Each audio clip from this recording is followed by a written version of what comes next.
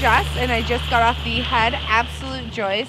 Uh, this is uh, definitely an intermediate level ski. I would give it 4.5 out of 5 stars. I was very impressed. It uh, really holds a car very, very well. You don't have to put a lot of power or effort into it. You can kind of just lean it over a little bit and these skis know exactly what to do for you.